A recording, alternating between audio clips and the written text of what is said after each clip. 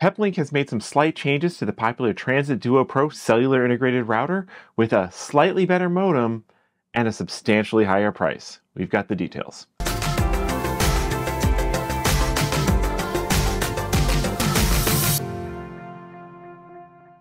Hi, I'm Chris with the Mobile Internet Resource Center here to give you an update on Peplink's uh, Max Transit Duo Pro. This has been a popular 4G router that gives you two modems that can be combined and bonded together and uh, bringing a lot of cellular capability into one device as long as you're okay with kind of being in the 4G era and not the 5G era. So this is a dual 4G modem router that has been quite popular with our audience for quite a while. But one of the limitations of the more recent versions of the Transit Duo Pro was that the modems inside of it were a kind of this striking this weird hybrid balance with one modem was a category 7 modem and the other modem was a category 12 modem. So you had a kind of a lower end modem and a middle range 4G modem instead of two identical modems. And this was because the category 12 modem chips that that Peplink was using did not have support for T-Mobile's band 71, the most important band for T-Mobile's long range coverage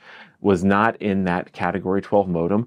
So they used a lower end category 7 modem that was had band 71 but did not have the performance of the category 12 modem. So the basic difference between the category 7 and the category 12 was category 7 modems could combine together two signals for two channel carrier aggregation and category 12 can combine together three signals for more carrier aggregation and more download performance.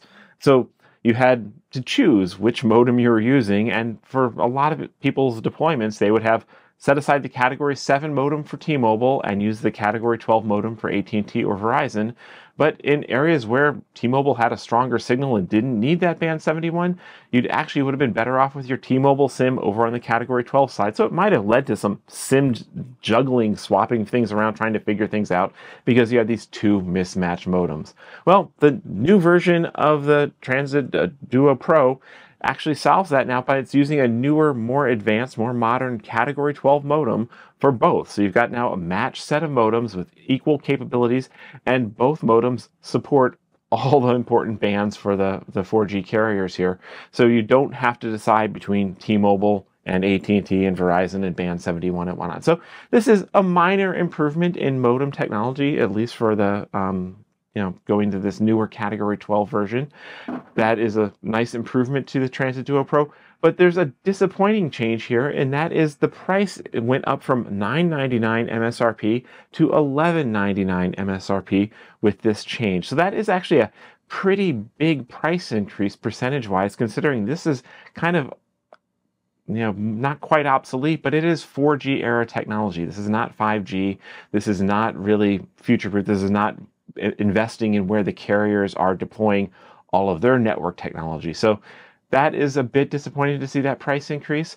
We are seeing some pushback on that, and actually, we have now heard that Peplink is authorized several of the resellers to keep selling the, um, the to sell both the Cat 7 12 version, the remaining inventory, and the new dual Cat 12 version at $9.99 for the time being. So including our you know partners and friends over at Mobile Must Have, they have the new dual Cat 12 version at $9.99 for the time being. So that price increase is maybe not going to stick around, or at least you can hop on and get this dual modem version at $9.99 right now. So that is the update on uh, the uh, Transit Duo Pros has been a very popular device. A lot of people really love it.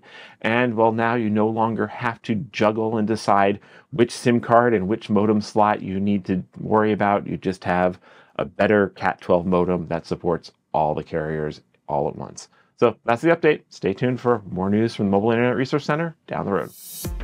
These videos are brought to you by our premium members, our mobile internet aficionados. They make it possible for us to track this news and create these videos. If you like this video, please give it a thumbs up, leave a comment, subscribe to our channel, or better yet, consider becoming a member yourself.